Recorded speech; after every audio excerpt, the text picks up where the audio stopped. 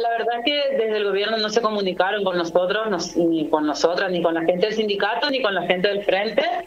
Eh, nosotros sabemos lo mismo que saben todos, de que eh, más allá de lo que publicó el gobernador, el Ministerio de Salud mandó un, informe donde hablaba al respecto y nada, lo mismo eso, que van a vacunar a los trabajadores de la comunicación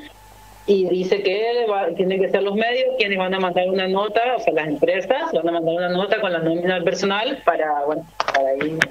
quienes van a hacer que se vacunen. Pero no tenemos más información que eso. De todos modos, muy contento y,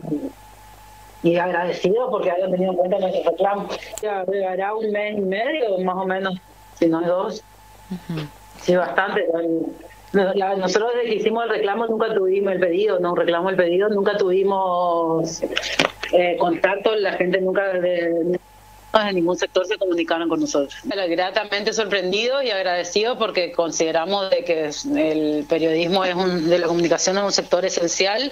nunca dejó de trabajar. Eh, como vos bien decías, hay muchos compañeros y compañeras que trabajan en la calle todos los días y están muy expuestos y también quienes están yendo a las redacciones y a los estudios también están expuestos porque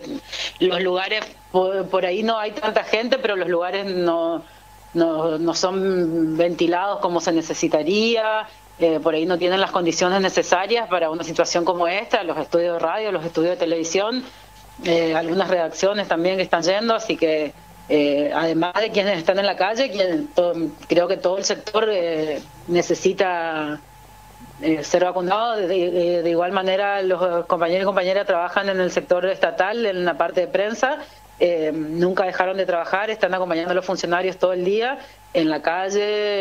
eh, en los actos públicos donde hay mucha gente también están expuestos.